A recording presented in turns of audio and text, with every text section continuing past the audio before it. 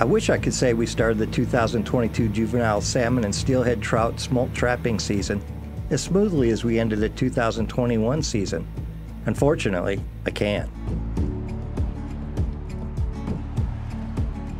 We plan to tow the 100 foot long trap to the Highway 12 bridge, which is known as the Blue Bridge.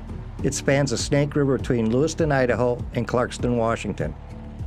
However, the temperature was 10 degrees that morning, and shards of river ice were still piling up in front of the trap well into the afternoon. The following week, the river ice was gone, and we were able to resume our journey up the Snake River to the Blue Bridge.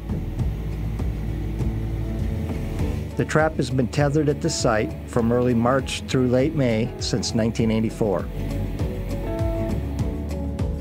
Today, Idaho Department of Fish and Game and the Fish Passage Center cooperatively operate this fish trap as a key component of the smolt monitoring program and the comparative survival study.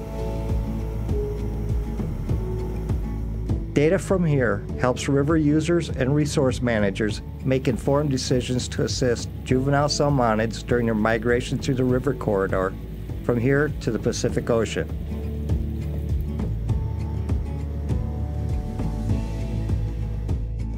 Fortunately, the crew was able to connect the trap to the bridge and assemble the trap components without further delay.